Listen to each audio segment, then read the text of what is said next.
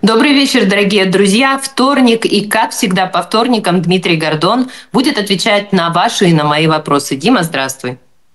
Добрый вечер, Олеся. Добрый вечер, дорогие друзья. Наша самая лучшая в мире зрительская аудитория.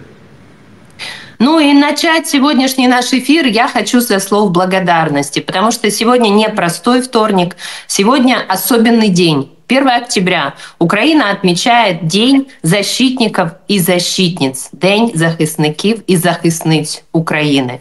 И я хочу от себя сказать слова благодарности.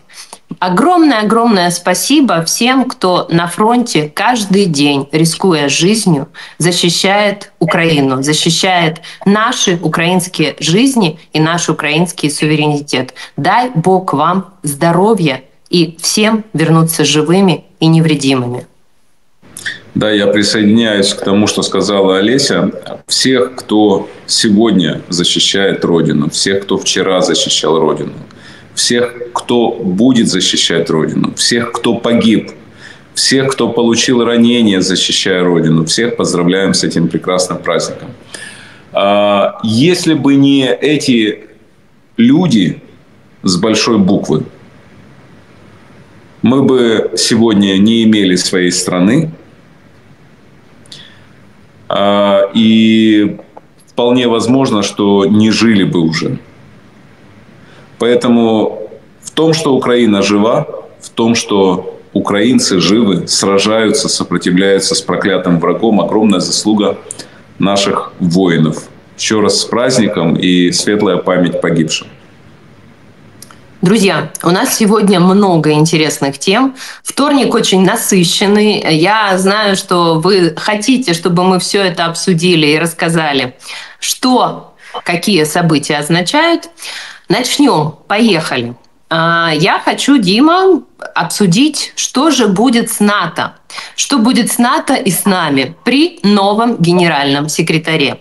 Как раз сегодня состоялась церемония передачи полномочий от Йенса Столтенберга к новому главе НАТО. Это бывший премьер-министр Нидерландов Марк Рюте, который, друзья, а, вот в своей праздничной речи Вспомнил об Украине, не просто вспомнил, а сказал, что одним из приоритетов для него на своем новом посту будет помощь Украине, плюс выполнение обязательств по приближению Украины, по вступлению Украины в НАТО. Как ты считаешь, чего нам ждать от нового генсекретаря НАТО?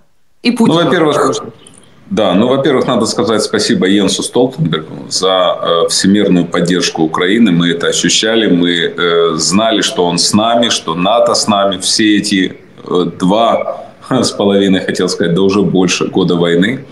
Э, Марк Рютте, он э, был, когда он был премьер-министром Нидерландов, он очень много сделал для Украины – а, он неоднократно встречался с президентом Зеленским, и у них очень хороший контакт, очень хороший диалог. Конечно же, задача Украины вступить в НАТО. Я э, нисколько не выдаю желаемое за действительное. Я говорю о том, что главная задача Украины, помимо победы в войне, это вступление в НАТО.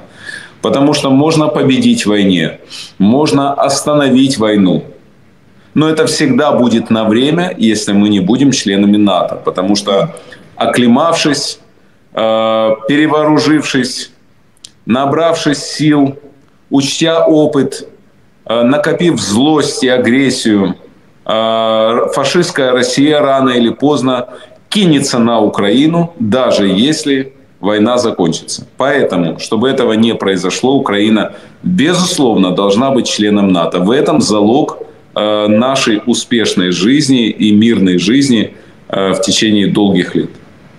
Главный вопрос, когда и в каком состоянии. И вот на него Столтенберг, уходя, ответил. Он сказал, может ли Украина с оккупированными территориями стать членом НАТО. А, он заявил, что союзники по НАТО должны решать, как именно членство должно применяться или работать для Украины. Конечно, если мы говорим, что единственный способ для Украины стать членом – это окончание войны и полный контроль над всей украинской территорией, тогда мы даем нелегитимному президенту Путину все стимулы просто найти способ продолжать войну. Что правда? Олеся, ну, э, мы не будем э, сейчас, э, знаешь, э, в НАТО, э, в западных странах э, разрабатываются разные варианты, разные конфигурации будущего устройства Украины и мира. И одним из этих вариантов, мы не будем скрывать, является обмен оккупированных территорий на членство Украины в НАТО. Есть такой вариант. Он постоянно об этом говорят, во всяком случае, в беседах со мной, в частности, высокопоставленные западные чиновники, дипломаты и военные. Да, они говорят, что один из вариантов – это Путин остается там, где он сейчас есть, а, и остальная территория Украины уходит в НАТО. При этом да, Запад... Но, извини, при этом, при Запад, этом они говорят... Сейчас, да, сейчас. Не приз... При этом Запад не признает угу. э, территории, которые находятся в оккупации, российскими. Такой вариант существует. Согласится ли на него украинский народ и украинский президент, это большой вопрос. Мы о вариантах. То есть то, что сказал Столтенберг, то, что активно говорят, э, то, о чем активно говорят натовцы сегодня, да, это такой вариант. Украинские оккупированные территории э, остаются поза межами Украины на время, э, а вся Украина оставшаяся уходит в НАТО. Я не хочу говорить об этом сейчас. Я по-прежнему говорю о том, что Украина должна вернуть все свои территории – оккупированной незаконно фашистской России. Я по-прежнему говорю о том, что победой Украины будет три составляющих. Выход на границы 91 года, а, репарации со стороны России и покаяние со стороны русского народа, российского народа, и вступление Украины в НАТО. Вот эти три составляющих являются элементами э, всеобъемлющей, настоящей победы Украины. Потому что даже если мы выйдем на границы 91 года и Россия признает поражение, это не будет означать полной победы, потому что если мы не будем в НАТО, эти твари кинутся снова. Я об этом еще раз э, повторю. Э, мы их хорошо знаем. Мы не питаем никаких иллюзий относительно того, какие они подонки – и от них можно ожидать всегда и всего. И мы ожидаем, мы во все оружие ожидаем. Слава Богу, никогда больше не повторятся времена, когда независимая Украина э, водила дружбу с этими тварями э, и была уверена, что никогда не получит от них нож в спину. Мы все увидели, мы все теперь знаем. Нам больше никаких не нужно доказательств. Но Э, НАТО. Еще раз. НАТО, НАТО и еще раз НАТО. Других вариантов нет. И я подытожу. Э, после 5 ноября мы увидим шаги, те или иные шаги в сторону или в сторону НАТО или э, в противоположную сторону от НАТО. Орбан хочет инициировать мирный саммит с участием Зеленского и Путина, написало одно швейцарское издание. Оно утверждает, что э, он на прошлой неделе на полях Генассамблеи ООН работал над организацией мероприятия, которое якобы должно продолжить его так называемую миротворческую миссию. Орбан, в частности, провел интенсивные переговоры с лидерами Китая и Бразилии. Также, как утверждает издание, в мероприятии примут участие Франция и Швейцария. Дата и место проведения саммита обсуждаются. В общей сложности его якобы поддержало 15 стран друзей мира, сообщило издание. Олеся, Орбан может делать все, что угодно, инициировать или не инициировать. Это не имеет никакого значения. Э, ясно одно. Э, Зеленский никогда не сядет за стол с Путиным без э, западных стран – возможно, и Китая. Ясно второе. Орбан является а, проходимцем, который работает давно и плотно с русскими, с Путиным, с ФСБ, с русскими. А, Орбан не является другом Украины, Орбан является другом России. Поэтому все, что говорит и делает Орбан – Э, я этому не верю и верить никогда не буду. Этот человек для Украины, для меня зачеркнут навсегда. А вы знаете, что самый лучший подарок – это книга. Вот такая. И вот такая. И вот такая. И еще много-много разных моих книг с дарственной надписью. Все их можно приобрести в фирменном магазине моего мерча Гордон Шоп. А еще там можно приобрести и вот такой кофе, и вот такую подушку, и еще много-много чего. Благодаря вам, покупатели фирменного магазина моего мерча Gordon Shop, я уже отправил нашим бойцам на передовую 170 дронов. Давайте отправим еще. Приходите в интернет-магазин Gordon Shop. Помогаем фронту.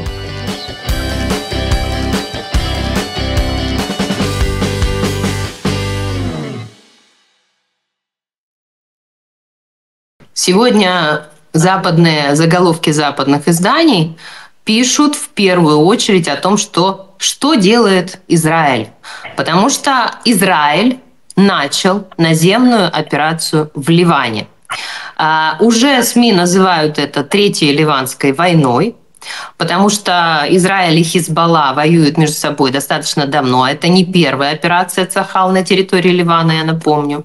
Почти год конфликт ограничивался обменами ударами, пока Израиль был занят военной операцией в секторе Газа, направленной против Хамас. Но затем Израиль точными ударами начал буквально выносить руководство Хизбаллы. Потом произошла операция по подрыву пейджеров и рации боевиков, которую мы все помним яркое. А накануне Израиль ликвидировал главу Хизбаллы Хасана Насралу.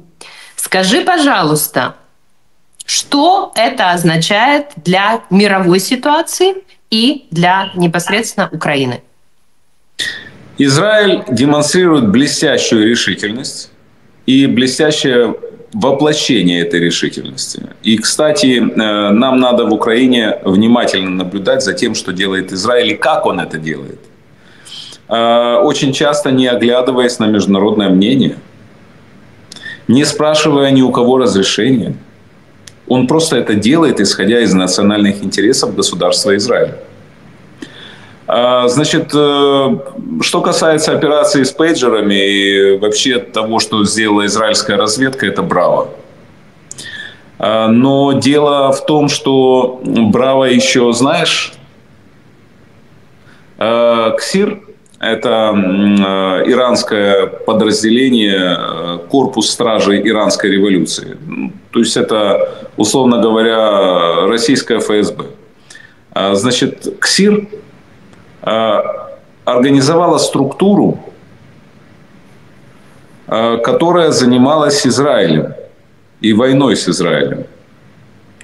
Так вот, во главе этой структуры оказалось стоял человек, который являлся агентом Израиля. Потрясающе. Потрясающе. А, то есть не только у нас это происходило, когда председатели службы безопасности Украины являлись агентами России. Я таких знаю 8 человек. 8 председателей СБУ были агентами Российской Федерации. А всего сколько их было? 14, наверное. Надо Или посчитать. 16? Нет, э, два человека занимали посты несколько раз. Э, по-моему, так. Радченко, по-моему, и Наливайченко занимали дважды пост э, председателя СБУ. Надо посмотреть. Но восемь председателей службы безопасности Украины были российскими агентами. А, или даже, вот скажешь, агентами, а может, э, они были частью России просто. Потому что когда э, мы видим, как Андрей Деркач, который 20 с чем-то лет заседал в Верховной Раде, был руководителем энергоатома, э, медиамагнатом, влиятельнейшим человеком в Украине, был ну, неотъемлемой частью украинской политики. Когда мы видим, как он становится сенатором, членом Совета Федерации России от Астраханской области, то э, правомочно ли вести разговор об агенте России Деркаче? Или правомочно вести разговор о части России Деркаче, который был значит, э, командирован в Украину для продолжения работы? Тут же можно по-разному на это смотреть. Представитель их государства. Все, спецслужб Да, конечно. Представитель, конечно, даже не агент. Конечно, не агент. Это часть российского государства. Потому что, когда человек становится... Я же хорошо знал Андрея Деркача, между прочим. Я же с ним встречался периодически в Верховной Раде, и э, в частные, частные встречи были какие-то. Э, и вот этот человек являлся агентом России. Не агентом, а может частью России. Вот так надо говорить. Просто, и, и заседает просто... сегодня в Совете Федерации России. Это же вообще фантастика. Просто то, что он сенатор, это да. говорит о том, что э, поменял свою точку зрения и предал Украину. Он явно не в 22 году, а судя по всему, российское гражданство у него было уже сколько лет назад. Судя по всему, он вообще не предавал Украину. Судя по всему, он просто был э, сотрудником российских спецслужб, который был командирован сюда для своей деятельности антиукраинской. Как Якименко, Поэтому, имея паспорт России, был Ну, Якименко, Якименко вообще имел паспорт России, был председателем СБУ. Но мы о чем говорим? Мы говорим о том, что э, многие в России, я же отслеживаю российские паблики, многие начали возмущаться – что это происходит? У нас что, достойных людей нету? Это депутат Украинской Верховной Рады, влиятельнейший украинский политик Андрей Деркач стал, значит, сенатором от Астраханской области. Дурачки. Дурачки. Человек был на работе здесь. Он был в командировке. И это благодарность ему за успешно проделанную работу. Ну, что тут непонятного. Возвращаясь к Израилю, э, ужасно, не то слово. Ужасно другое. Э, ужасно, когда украинцы, миллионы украинцев, узнают фамилии людей, которые руководили ими долгие годы и являлись или агентами России, или частью России, опять-таки, были сюда командированы. Вот это будет ужасно. Я-то это знаю, и э, те, кому надо знать, это знают. А поскольку у нас служба безопасности сегодня работает прекрасно под руководством э, Василия Васильевича Малюка, то я хочу сказать, э, громких разоблачений будет немало. Я в этом уверен. И это будет касаться не только э, политиков, руководителей Украины в разных сферах. Это будет касаться и даже и журналистов, тех, кто называли себя журналистами. Там фамилий много. А... Тревога, извините. А, продолжая разговор э, об Иране и об Израиле. А, значит, э, ну, э, блестящая спецоперация Израиля, повторяю, и обрати внимание, Иран, Иран не пошел и не пойдет защищать Хизбаллу не пошел и не пойдет. И это важнейший момент, вообще, который важно обсудить. Мировая конъюнктура складывается сейчас таким образом, что мы увидим изменение геополитического ландшафта. И для Украины это прекрасно. Что произойдет с Ираном? Ирану надоела плохая жизнь, если коротко. А, жили бедно, хватит, называется. Иран – это древнейший народ, персы, там, азербайджанцы, там много живет национальностей. Древнейший народ, который хранит в себе память веков, который э, многое может, многое умеет. Они подпали под власть аятол. Была светская прекрасная страна до возвращения в 70-х годах из изгнания из Франции Аятолы Хамени – была прекрасная светская страна.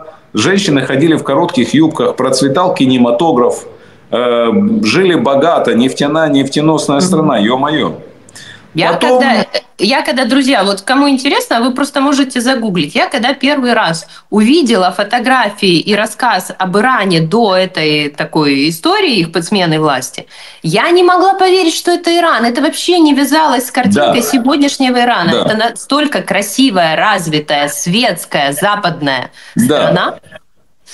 Подпала под власть аятол, исламский фундаментализм, э, отречение от светского всего, ну и что? И стала агрессивно себя вести эта страна. Если бы она еще жила в своем мире, ну куда ни шло. Но она стала агрессивно себя вести, угрожать Ирану, э, Израилю, э, значит, э, э, разрабатывать ядерное оружие, э,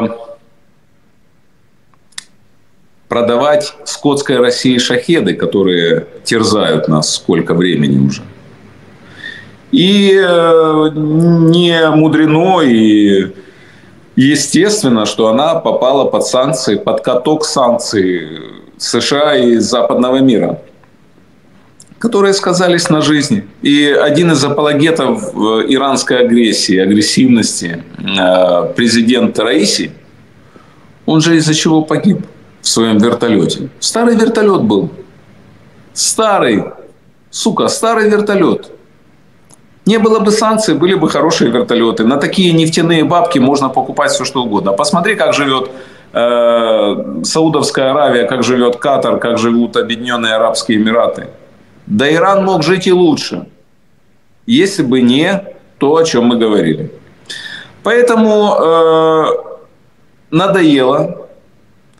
Э, аятолы, стареющие аятолы, пошли на попятную дали возможность избираться и быть избранным новому президенту с прозападным курсом, который уже с трибуны ООН, Организации Объединенных Наций, прямо заявил, что поддерживает территориальную целостность Украины. И сейчас, внимание, движение Ирана будет в одном направлении – Запад, Соединенные Штаты Америки и Европа. И это для нас очень хорошо. А, и хорошо еще в том плане, Олеся, что э, я всегда люблю о главном говорить. А главное заключается в том, что э, воевать Россия может только если у нее есть деньги. Есть деньги, есть война. Нет денег, нет войны. На чем основывается благосостояние России? На продаже нефти. С газом уже проблемы, обрубили. Теперь нефть. Э, ну, это бензоколонка. Это же не страна, не государство. Это бензоколонка. И вот э, если бензоколонке будет нечего продавать или будет что продавать, но по дешевым ценам, она загнется. Я хорошо знаю, как в начале 80-х великий президент США Рональд Рейган вместе с великим премьер-министром Британии Маргарет Тэтчер – устроили гонку вооружений и обрушили цены на нефть. Я это знаю не потому, что я что-то читал, а потому что мне об этом рассказывали два главных действующих лица того времени. Президент Горбачев и министр иностранных дел СССР Шеварднадзе. Они лично мне рассказывали о том, каким был этот процесс и как это произошло. И я прекрасно понимаю, что э, сегодня главная задача Запада – помимо оружия, помимо всего, да, главная задача Запада – обрушить цены на нефть, чтобы эта русская тупая бензоколонка не могла богатеть, и чтобы у нее не было денег на собственное население, не говоря уже о военном бюджете. И первые шаги к этому сделаны. Саудовская Аравия начинает добывать намного больше нефти – и э, прогнозирую, что следующий Иран. если две такие страны, как Саудовская Аравия и Иран, начнут конкретную добычу, нефть сильно упадет, и Россия просядет и перестанет воевать. Вот один из путей к прекращению войны. Увеличение добычи нефти и обрушение цен на нее. Ну а кроме того, в мире идут еще процессы такие э, мирные. Э, ну, я уже неоднократно говорил на носу подписания э, договора о дружбе между э, Арменией и Азербайджаном. И когда мы видим вот сейчас в Нью-Йорке, в кулуарах заседаний ООН, дружескую встречу президента Турции Эрдогана и премьер-министра Армении Пашиняна – но больше ни о чем говорить не надо. Это заклятые враги.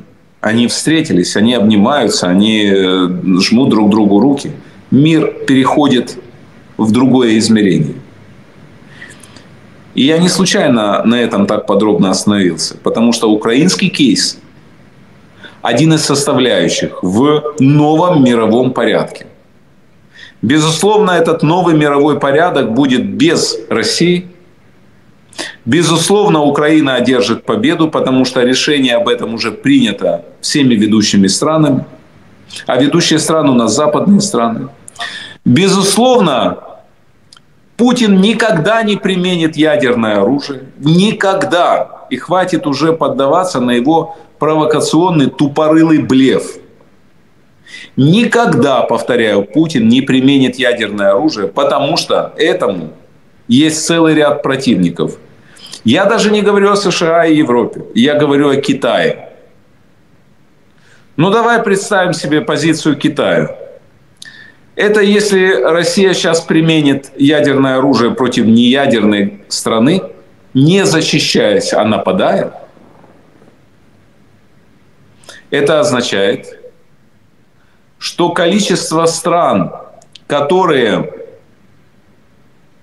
имеют ядерное оружие официально, оно будет увеличено. Значит, если Россия так размышляет Китай. И я не просто с потолка беру эти размышления, я знаю, о чем говорю. Если Россия позволяет себе применить ядерное оружие, тогда Япония говорит, хм, так это вот так работает? Тогда мы тоже ядерное оружие сейчас быстро сделаем. И Южная Корея говорит, да сколько можно. Северная Корея бряцает тут ядерным вооружением под носом. Вон уже Россия. Да нет. Мы высокотехнологичная страна, мы тоже тогда ядерное оружие себе берем, разрабатываем. То есть Япония, которая может себе позволить, Северная Корея. А дальше, минуточку, Тайвань. Высокотехнологичнейший Тайвань говорит, ё-моё, Россия, Северная Корея, да в конце концов, мы что хуже? Меняется тогда полностью миропорядок, и тогда Китай получает у себя под носом три ядерные державы. Японию, Южную Корею и Тайвань. Ну, Тайвань нос держава, как бы. Нос зачесался. А, может на это пойти геополитический Китай, получить три ядерных страны у себя под носом? Да это крах вообще всего. Поэтому китайцы, хозяева Путина, сказали ему, ты только, сука, попробуй. Только попробуй. Говорить можешь все, что угодно, только попробуй. Поэтому я еще раз говорю, утверждаю, Путин никогда не применит ядерное оружие. Не дадут. Мало того, если его шаловливые ручки потянутся только его применить, а это же не так, ты нажал на какую-то мифическую кнопку и все вылетело. Да нет, целая подготовительная работа. Если только он попробует начать проводить подготовительную работу, он будет тут же атакован западными государствами, томагавками, не томагавками, чем угодно. Будут атакованы все шахты, все э, э, арсеналы с ядерным оружием и так далее. Никто ему не даст это сделать, и я просто прошу, чтобы никто не боялся, потому что мне приходится слышать, вот даже и в Украине у нас и э, говорят люди, а вот, а вдруг он применит. Да, закроем этот разговор, он ни черта не применит. Это последний блеф, который у него остался. Пусть блефует старик. Ну, ты говоришь э, о стратегическом ядерном оружии. Там, да, Нет, за о движением Я... вокруг Олеся. шаг. А тактическое он может поменять любую ракету в самолете или с установки. Олеся, ну, по сути, сейчас... есть такие, да, которые никто не заметит, уже по факту заметят. Я сейчас говорю о каком стратегическом. Он не может применить против Украины стратегическое ядерное вооружение. Стратегическое ядерное вооружение летает э, э, на дальние расстояния через океан. Это для американцев придумано. Ну, для британцев, скажем так. Нет, э, он не сможет это применить. Речь идет о тактическом ядерном вооружении. Но тактическое ядерное вооружение он не сможет применить по выше мной означенным причинам. Не сможет. Исключено. Вот ты сейчас сказал о том, что если только Путин, ядерная держава, захочет применить ядерное оружие против неядерной державы Украины. А о чем говорят на русском пропагандистском телевидении? Я тебе сейчас скажу. На Британских островах нет никакой системы ПВО ну никакой. Главный российский пропагандист Дмитрий Киселев указал на первую цель для ракетного удара после изменения ядерной доктрины. Он э, в одной из своих программ главной темой э, сделал ядерный удар по Лондону. И э, он тут рассуждает, что, мол, если Британия все же снимает ограничения Киеву для ударом Шторм Шэдоу вглубь, вглубь России, э, то может нарваться на ядерный ответ, и, мол, э, этот ядерный ответ нужно сделать. Тут же если кто-то, друзья, опять же, не видел это видео, но его надо посмотреть. Там маленький кусочек. Э, пойдите в телеграм-канал Дмитрий Гордон после нашего эфира с Димой, подпишитесь на него и посмотрите этот кусочек, о котором я сейчас буду говорить. Это потрясающе. Значит, э, сидит президент Федерации лыжных гонок России вся такая в розовом. А, она избранная ну, в извини, году. Извини, она э, прославленная олимпийская чемпионка, неоднократная Елена Вяльби. Да. И что эта прославленная говорит? Решение о ядерном ответе э, будет принимать один человек Путин, а его уже столько провоцировали с Запада, что лидеру России может и поднадоесть. А, значит, она говорит о том, что если бы мы кинули серьезную бомбу на центр Лондона, ядерную, все бы уже закончилось, и нас бы уже везде пустили, имеется в виду российских спортсменов. Во-первых, Киселев не является главным пропагандистом российским, Дмитрий Киселев. Главным российским пропагандистом, я считаю, является э, Соловьев и Симоньян, вот эта пара. Он один из этой шоблы, скажем так. Второе. А, к словам Елены Вяльбы э, прислушиваться не надо, потому что она э, просто э, лыжница, и, видно, ей по мозгам проехали лыжей и закрепили это все палкой. Поэтому ожидать от нее каких-то умных заявлений это глупо. То, что она говорит, ну, так говорят, и вон на рынке тоже бабушки говорят, что хотят.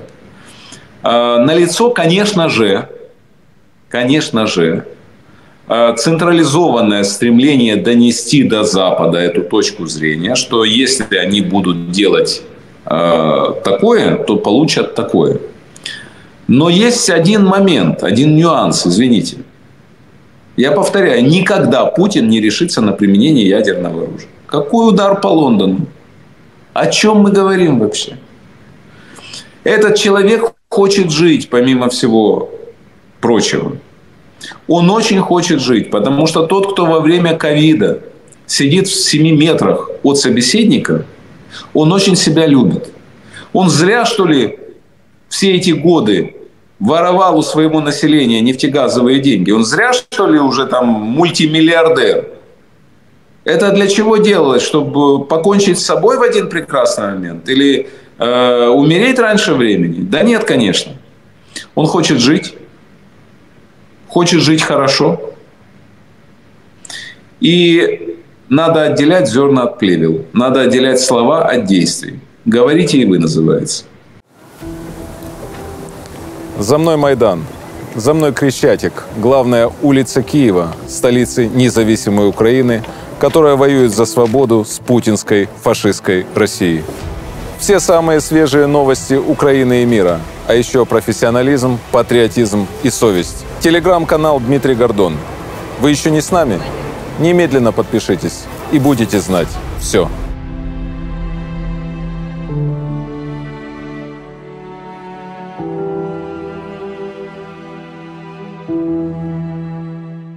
Кстати, в подтверждение твоих слов, э, он не зря дал задание своему другу-миллиардеру Ковальчуку э, срочно найти таблетки от старости, изобрести. Что они могут найти? Что они могут изобрести? Они сошли с ума все. Они дружно сошли с ума. Они хотят в э, нетехнологичной, отсталой стране что-то изобрести.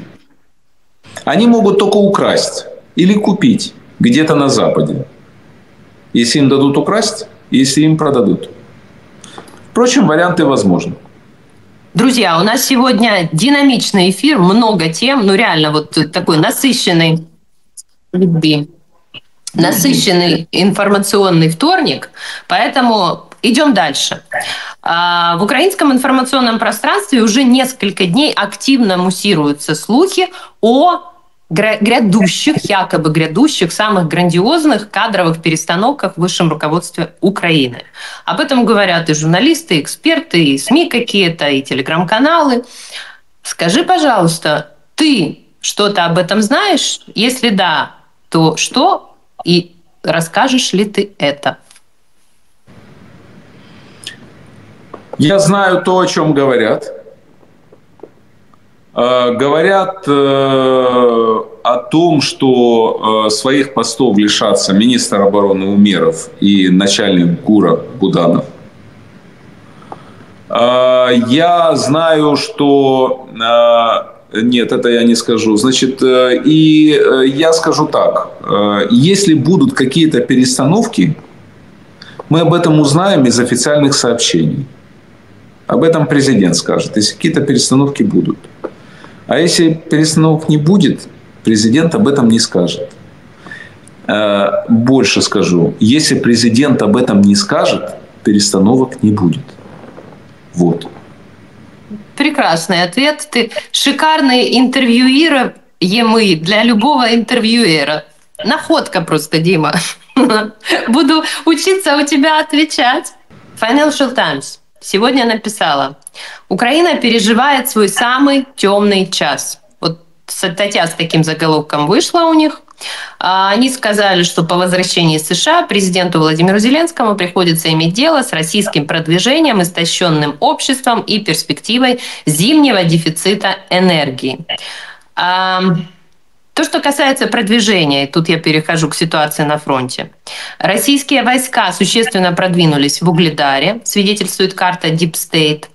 Судя по ней, под контролем вооруженных сил Украины находится только одна улица за пределами основной части города. Еще несколько кварталов находятся в серой зоне. Также русской армии удалось продвинуться на западе Водяного в сторону Богоявленки. А, скажи, пожалуйста, Дима, вот э, действительно, э, имеет ли основания под собой статья с таким заголовком? И э, как ты оцениваешь то, что сегодня происходит на фронте? Потому что действительно на нескольких участках э, украинским, украинским воинам очень тяжело. Самые черные дни Украины сейчас, я с этим категорически не согласен. Самые черные дни Украины были 24 25-26 февраля 2022 года. Самые черные, потому что решалось, будет ли Украина на карте мира или нет. Сегодня об этом речь не идет, слава богу. Постучал по дереву. Что касается ситуации на фронте. Ситуация тяжелая. Тяжелая. Да, в Угледаре плохо. Русские в центре Угледара уже, насколько я знаю.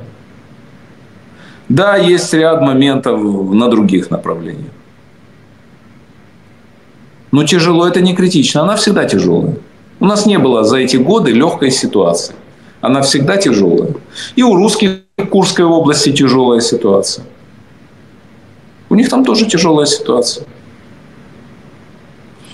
Поэтому э, я не э, считаю критично, нет. Я оптимист по-прежнему. Во-первых, у нас большие продвижения есть э, в плане э, боеприпасов, э, в плане украинских разработок, э, в плане э, подготовки резервов. У нас хватит сил для того, чтобы сражаться. Ну и я хочу сказать, что сегодня у нас 1 октября. Давайте посчитаем, сколько у нас осталось до 5 ноября. Месяц с небольшим хвостиком. А 5 ноября все только начнется. Про 5 ноября. В Госдепартаменте США сделали заявление по поводу ударов по территории России. Украине не нужно наше разрешение. Спикер Мэтью Миллер э, во время брифинга заявил о том, что Украине не нужно просить разрешения у США, чтобы атаковать военные объекты на территории России своим оружием. Он напомнил, что украинские военные могут применять оружие американского производства по приграничию России. Однако на вопросы журналиста относительно дальнобойных ударов западным оружием он прямого ответа не дал. А, он сказал, прежде всего, Украине не нужно наше разрешение, чтобы наносить ответные удары по российским целям. Она является суверенной страной и может использовать то оружие, которое создала самостоятельно. Такого оружия, по его словам, у Украины огромное количество. Я не могу не согласиться с ним, со спикером. Не могу не согласиться. У нас действительно много своего оружия. А, шикарные разработки у нас есть. Опять-таки ничего не буду говорить. А, и ты прекрасно знаешь, какие разработки у нас есть. И тоже ни о чем не скажешь. А, поэтому, смотрите, я продолжаю оставаться оптимистом. У меня нет ни одного даже момента какого-то плохого настроения, не говоря уже о депрессии там или еще что-то. Мы идем в правильном направлении, все будет хорошо все будет хорошо. Сейчас э, у русских начинается критическая ситуация. Вот у русских критическая ситуация начинается. Э, сегодня 1 октября. Сейчас мы с вами увидим, какие проблемы у них начнутся с боеприпасами. Мы же не случайно выносили склады огромные боеприпасов. Ну, не случайно же. У них уже на фронте началась, Олеся, что? Экономия. Ну, мы встречались с, с очень большими военными нашими, да, Олесь? Ну, расскажи по поводу боеприпасов, как они стреляют уже, как они экономят. Ну, это не секрет, что если раньше, в начале большого вторжения, Украина э, воевала в первую очередь за счет э, меткости э, стрельбы, потому что на один наш удар условно, статистика на разных участках была разная, но на один наш удар Россия отвечала десятью ударами. То есть один боеприпас на 10, а на некоторых участках фронта и того больше то сегодня э, это соотношение поменялось, кардинально поменялось.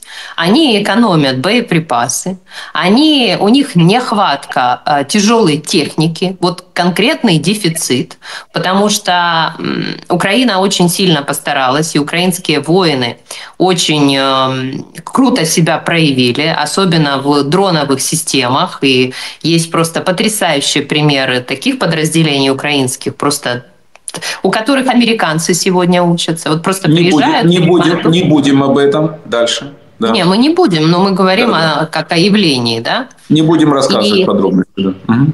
И на сегодняшний момент, конечно же, Россия не от хорошей жизни свои штурмы стала проводить или пехотные, или мотоциклетные. На Причем баги ездят. на, на китайских мотоциклах, самых дешевых. Ну да, Идем дальше. Ребята, не все плохо, Идем поверьте. Дальше. Много, многое даже хорошо у нас. Ну, ну, тут э, Путин подписал указ о призыве 133 тысяч срочников в России. Ну, при этом а... он, он подпишет указ о, о демобилизации срочников, которые э, сейчас служат. То есть это равноценная история. Значит, у Бориса Джонсона как он сказал, мой большой друг Дмитрий Гордон. Вот у твоего большого друга Бориса Джонсона выходят э, мемуары, книга воспоминаний. Он же журналист. Судя, да, а бывших журналистов, как мы знаем, не бываем. Он еще очень эмоциональный, эксцентричный, такой бешеный, в хорошем смысле слова, человек. Ты его уже а, называешь Борис? Ты его уже называешь Борис, он Борис. Так. Борис Джонсон, бо він, бо він наш український. Да, Борис Джонсон. Итак, эти мемуары, судя по всему, будут абсолютно сенсационными, потому что из э, тех отрывков, которые уже есть сейчас в публичном доступе, мы много чего узнали. Например, он пишет о том, что королева Елизавета болела раком костей и подробно описывает, э, как она мужественно боролась с болезнью, как она себя вела, э, что она делала, как у нее были сколоты э, вены синие от капельниц, от уколов, но как она всегда улыбалась, и как эти встречи происходили, и как она буквально только на силе воли дотянула, чтобы передать, ну, свои, последний раз исполнить свои э, полномочия как э, королеве и передать э, власть от Джонсона к новоизбранной тогда Лиз Трассы, ее как бы, да, ну, благословить на премьерство. Он пишет о том, как Макрон пытался наказать его за Брексит. Он пишет о том, как он хотел напасть на Нидерланды, по сути, хотел сделать военную операцию, чтобы добыть вакцину от ковида на одном из их предприятий. Но я, я тебе честно скажу, я уже жду выхода книги, потому что мне интересно, что же там еще будет. Там интересно а по Украине будет. О ваших встречах там ничего не будет написано, скажите? Не знаю, не знаю. Там будет очень интересно по Украине. А, потому что Борис Джонсон один из двух людей, которые сыграли э, из двух э, западных лидеров, я имею в виду. Ты решил отсоединиться? Борис Джонсон, один из двух западных... Мне стало страшно. Да, один из двух западных лидеров, которые сыграли решающую э, роль в судьбе Украины. Это э, э, Джо Байден и Борис Джонсон. Я не случайно сказал Борису Джонсону, что в свое время в Киеве появится улица Джонсона. В благодарность за то, что он сделал, еще, я уверен, сделает для Украины. Поэтому, да, сказать ему есть что и немало. И уверен, что он это скажет. Друзья, те, кто подписан на Инстаграм Дмитрия Гордона, а я, кстати, призываю тех, кто этого почему-то еще до сих пор не сделать, обязательно подписаться, потому что там а, вот Дима постит все для настроения. Вот у кого плохое настроение, смотришь Инстаграм, комментируешь, лайкаешь, и прям сразу повышается. А, в том числе ты любишь там всякие такие штучки из жизни э, паноптикума, э, в том числе вот такой российского шоу-бизнеса. А, поэтому я хочу с тобой обсудить э, эпизод один. Z-певец, как его называют, шаман, заявил, что патриотам России можно пользоваться iPhone и ездить на немецких авто, так как создатели могли вдохновляться произведениями Чайковского или Достоевского. Оцени вообще гиганта мысли, как завернул, да? Обосновал. Он рассказал э, у, в эфире у этого Корчевникова, который все время воровал твои видео, и ни разу не поставил он не знаю, с какого года, вот он работает на телевидении, с того года он ворует твои э, программы используют, замыливает, отрезает тебя. Ни разу не сослался. Это, друзья, было, наверное, вот сколько я помню, года с 2016 или 2015. То есть чистый такой вот вор. А, итак, он, этот шаман, заявил, что недоброжелатель указывает ему на то, что он пользуется американским смартфоном и катается на немецком авто. А, главное успеть накататься, ведь на днях шаман объявил о разводе с супругой Еленой Мартыновой. Именно Мартынова в прошлом пиарщица, а ныне вице-президент Мегафона. По данным СМИ, стоит за созданием его сценического образа, с ней же связывали его быстрый взлет – а я думала, вообще он голубой. А, ну хотя.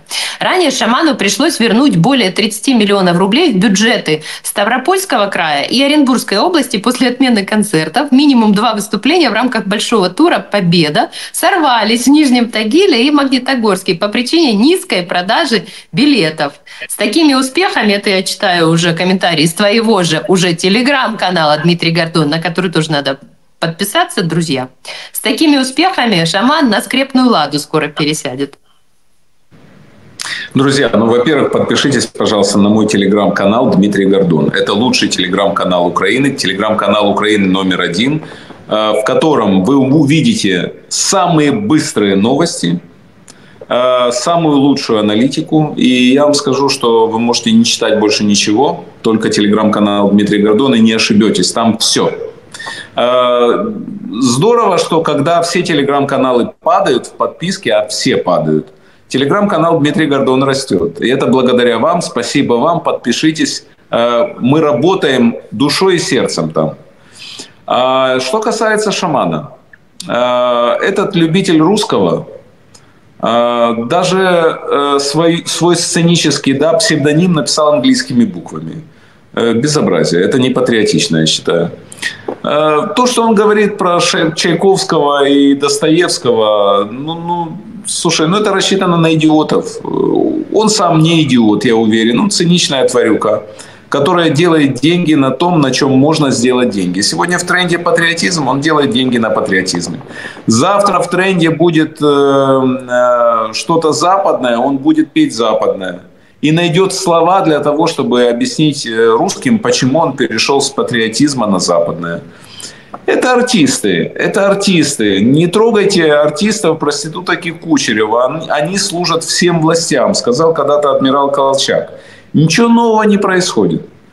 Э, да, люди чистоплотные, которые э, берегут свою репутацию, которые не хотят испортить свой некролог, они в эту игру не играют.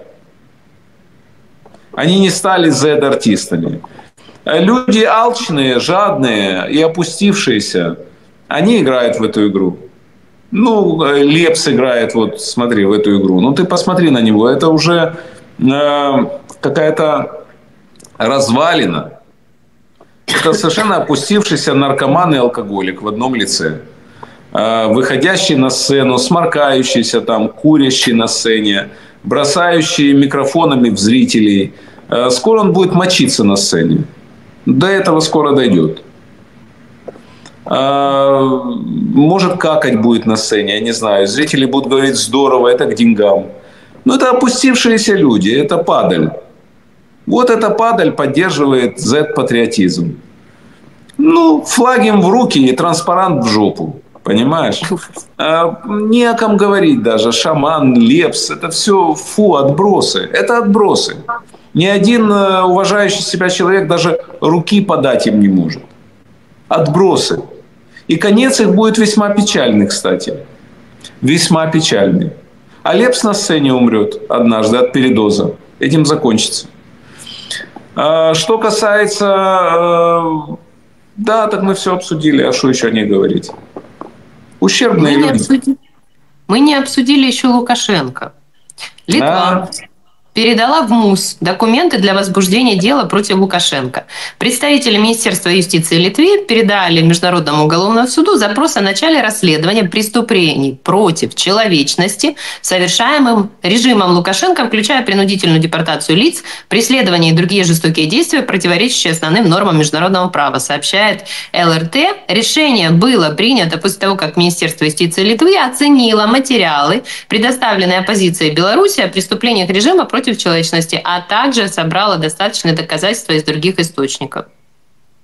Ну, давай скажем, что МУС – это Международный уголовный суд в Гаге, который выдал уже э, запрос на, э, на экстрадицию, ордер. ордер, да, на экстрадицию, на привлечение к уголовной ответственности Владимира Путина. Поступят, да, ли, они, да, поступят ли они так по отношению к Лукашенко, я сомневаюсь. Объясню почему.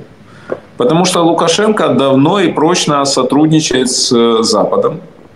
А, вы не смотрите на его риторику. Риторика его – это для Путина и для ядреного электората. А на самом деле Лукашенко больше всего думает о своей жизни и о сохранении своей власти. И понимает, что нужно дружить с Западом. И он с Западом дружит. А риторика – это риторика. Всего лишь, больше ничего. Ну, так специфически он дружит с Западом, э, участвуя в войне против Украины, ведь он там не участвует конкретно. Мог бы участвовать намного хуже. Я исхожу из худшего. Но что-то его держит. И я знаю что. Но не скажу. Не исключено, что то, о чем ты говоришь. И ты знаешь, еще... и, ты, и ты это знаешь. Знаю, конечно, но есть еще факторы, кроме этих, есть еще и факторы объективные с точки зрения состояния в белорусской армии, насколько они готовы будут идти умирать за Лукашенко и Путина, насколько они готовы будут все идти и воевать с Украиной на украинской земле. Э, ну, тут много всяких моментов. Смотри, То есть... это, это важный момент. Значит, однозначно сказать, что белорусская армия, насчитывающая 70 тысяч человек, не будет готова идти на украинскую территорию воевать с Украиной, я не могу. Да, оно-то вроде как белорусы с украинцами, как? Ну, русские то отбитые черти, то понятно, но белорусы с украинцами как? Но это же люди приказа, это армия. Если отдадут приказ, может и пойдут, мы не знаем этого. Но с другой стороны, понятно, что если они вдруг пойдут, они получат сильно по зубам, э, и украинская армия совершит быстрый марш-бросок в Минск, и даст возможность белорусскому народу уже навсегда сбросить иго этого картофельного фюрера. Да, он это понимает хорошо. Он умный. Э, Картофан. Власти, Фран... власти Франции не, не отказались от идеи отправки войск в Украину. Президент Макрон говорил, что мы не должны ничего исключать, и это остается в силе. В частности, мы должны рассмотреть возможность проведения учебных миссий. Запад должен прекратить навязывать Украине красные линии, потому что ограничения ослабляют обороноспособность Украины, ставя таким образом под угрозу и безопасность Европы. Но вот вроде здравые голоса звучат. А где же действия, когда действия будут? Когда понадобится, тогда будут и действия. А не понадобится, не будет действий. Да все будет хорошо. 5 ноября проснемся в новой реальности – все. Кстати, по поводу Оста... 5 ноября. Осталось-то, осталось-то немного. Ну, потерпите чуть-чуть. А, по поводу 5 ноября. Ты до этого говорил, что ты считаешь, что победит Камала Харрис. Ты сейчас так же думаешь? Да, я также думаю. Я считаю, что победит Камала Харрис. Э, Олеся решила отключиться. Ну, на то и прямой эфир – что хочет включается, хочет отключается. Да, я считаю, что победит Камала Харрис. Ты, чтобы не слышать этого, отключилась или как? Что произошло? А, может ли победить Дональд Трамп? Я не исключаю такого. Я не категоричен, только Харрис. Да, мое мнение, победит Харрис. Может ли победить Трамп? Ну, теоретически, да. Мы не знаем, что может произойти на этом коротком отрезке с 1 октября по 5 ноября. Потому что самое интересное в американской политике будет происходить именно в это время. Весь слив компромата, если он есть, будет происходить именно в это время. Поэтому все во внимании. А я знаю, что произойдет. Вот сегодня ночью произойдет. В США пройдут новые дебаты, в этот раз между кандидатами в вице-президенты. Сенатор-республиканец Джей Ди Венс и демократический губернатор Миннесоты Тим Уолтс ночью встретятся на дебатах перед ноябрьскими президентскими выборами. Дебаты стартуют около пяти часов утра по Киеву, друзья. У кого будет бессонница или, не дай бог, если опять будут шахеды и не будем спать, то как раз можно посмотреть. Дебаты будут длиться 90 минут. А, на CBS News пройдут теледебаты. И что интересно, в отличие от президентских дебатов, ну, кандидатов в президенты э, Харриса и Трампа, на этих дебатах микрофоны между дебатируемыми не будут выключаться э, в тот момент, когда говорит оппонент.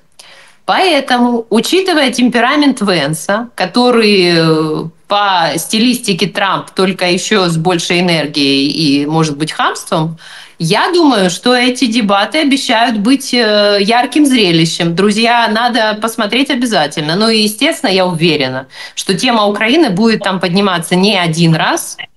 Ну, послушаем. Дима, ты, ты что ждешь от дебатов вот этих? Ничего особенного не жду. Э, ничего особенного. Я не думаю, что это будет э, каким-то решающим фактором при определении э, американцами, за кого они будут голосовать. Посмотрим.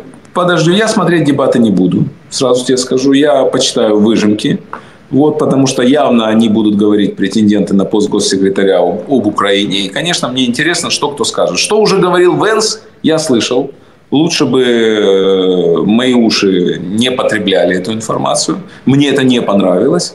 Но кто я такой, чтобы об этом рассуждать? Э, это американские граждане будут выбирать себе президента и вице-президента.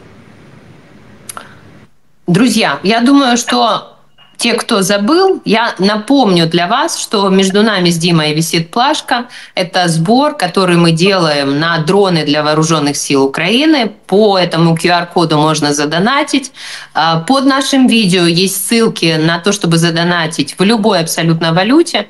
И, пожалуйста, не забывайте это делать, потому что украинским воинам нужна ваша поддержка. И я это говорю не только потому, что сегодня особенный день. Сегодня День захисників и захисниць Украины. Мы благодарны нашим воинам. Но, кстати, вот опять же, сегодня праздник, друзья. Ну, нужно поздравить наших воинов и наших защитниц.